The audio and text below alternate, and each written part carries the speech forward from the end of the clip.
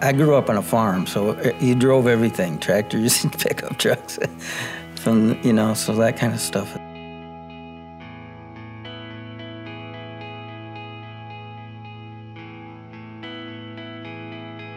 I got laid off from my other job and I just got fed up with getting laid off, so I just went around town for a whole day putting in applications. And one Saturday I come home and my wife at the time said that uh, somebody had been calling here all day looking for you.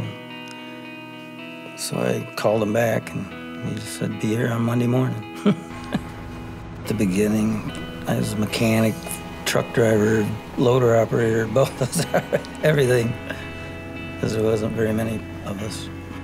We did a lot of oil field roads at that time. You'd hauling sand and gravel for them. And there was like four, four of us with tandems. That was about it. And mostly the people that were doing the oil sites is the ones that you worked for. So you really didn't see nobody, just those four guys. You just try and keep up with everybody. And if there's stuff in the way, you try and get it out of the way and keep the trucks moving. You know, if you have to drop a truck to to run the loader for a while to catch the guys up instead of loading yourself every time, whatever can make it go faster. If it's moving with, with a dozer or making a road or pulling somebody out or whatever, you know, just keep it going.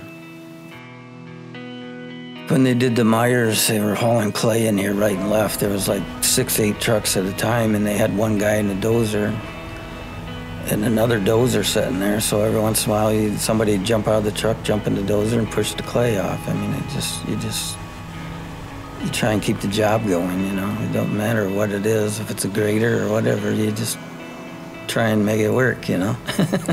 you just depended on each other. I mean, you only had so many guys, so if one guy come up missing one day, you, you had to make that up.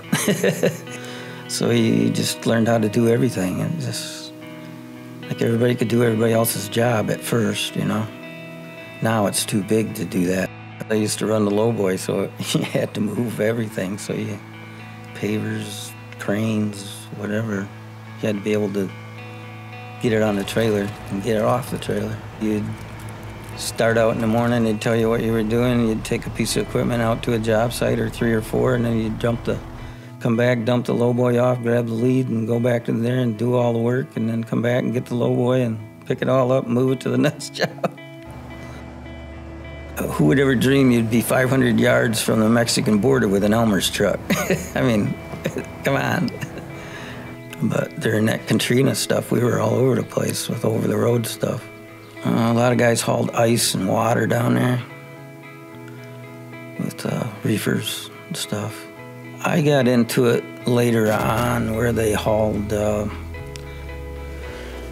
oh kitchen cabinets, refrigerators, uh, just all kinds of stuff that they there was trucks from all over the United States there doing the same thing.